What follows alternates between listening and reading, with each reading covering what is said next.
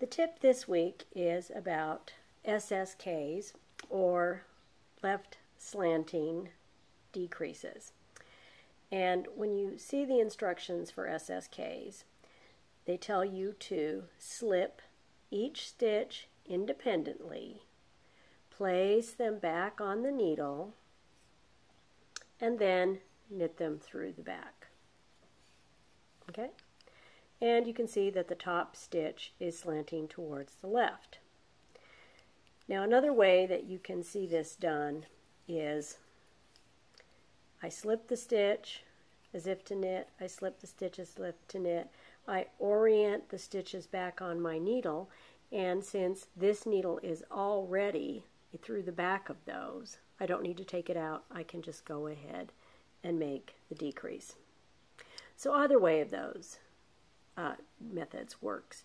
Now the problem with SSKs is that they don't really match the knit two togethers and the reason that they don't is because these stitches are slipped and when you slip a stitch and when and you insert your needle you distort it you stretch it out so the SSKs will be larger than the knit two togethers. And in the blog, I'll have some photos showing these um, decreases and you can compare them.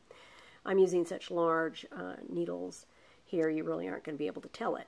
Now, one way that you can make it look much better is to barely use your needle tips, just the tips of the needle tips when you slip them and when you work the decrease. And what that's going to do is it's going to stretch those stitches out less and therefore they're not going to be as large.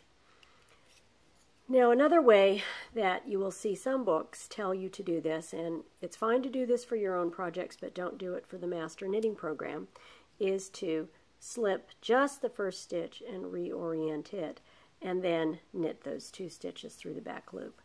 What that does, and this is kind of hard to see, is it twists the second stitch at the base. And in the master's program and in the basics class, we don't want to see twisted stitches because what they do is they can, they do have a different gauge and they can alter the appearance of some pieces. You can see here, I could definitely see that that stitch is twisted. So do that in your own projects, uh, but don't do it for the master's program. And by the way, when you are slipping a stitch for a decrease, always slip it knitwise.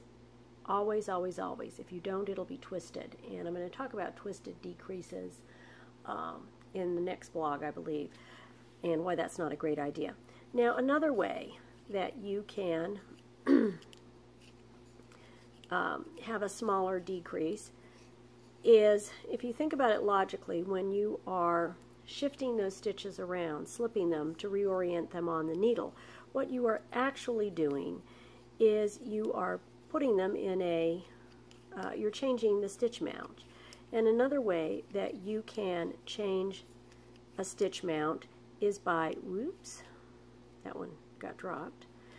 Um, another way that you can change the amount of a stitch is on the previous row, work it in the opposite direction. So for example, for a purl stitch, normally I'm going to be bringing the yarn over but instead I'm going to bring the yarn under and I'm not going to pull too tight because I don't want to strangle that stitch.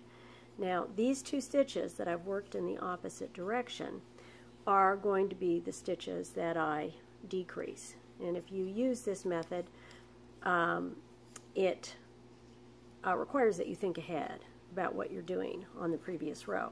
So now I'm to that location where I'm going to work those stitches and I work to where the decrease is and if I notice those stitches are already oriented properly, it is as if I have twisted them. So I can just knit them through the back and this de decrease will be smaller than the others. Now the trick to that is, is you don't want to pull too tight when you are wrapping those stitches in the wrong direction or it's really itty bitty teeny weeny. Now another thing that you can do is when you have decreased stitches, and if that top stitch is too large, you can use a tapestry needle or another knitting needle to manipulate the yarn into the stitches around it. And on the uh, example I have in the um, blog, I will show the difference that that can make.